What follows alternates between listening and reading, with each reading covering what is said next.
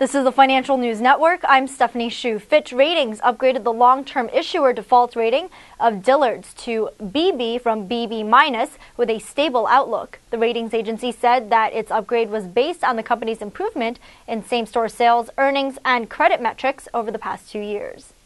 Stay tuned to the Financial News Network for further analyst updates. I'm Stephanie Shu.